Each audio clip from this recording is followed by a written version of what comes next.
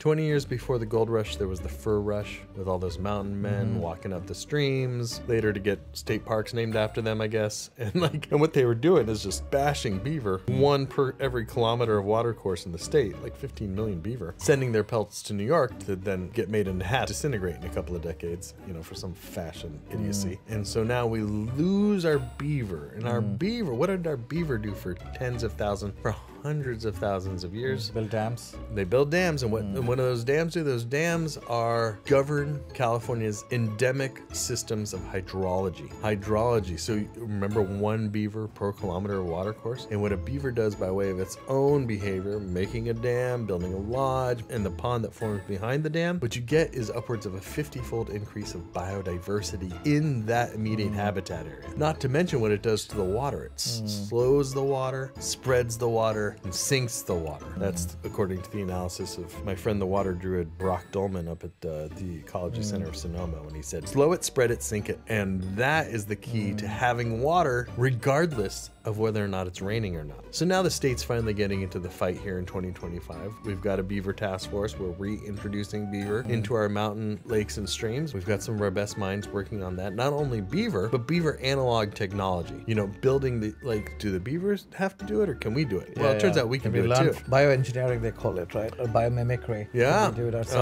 I like that. Nature based solutions is Yeah. how the governor refers to it. But that's exactly right. Because beavers, you know, you introduce too many beavers, especially in suburban areas, it's like they don't really do what you want them to do where you want them to do it. Yeah, that can be a problem.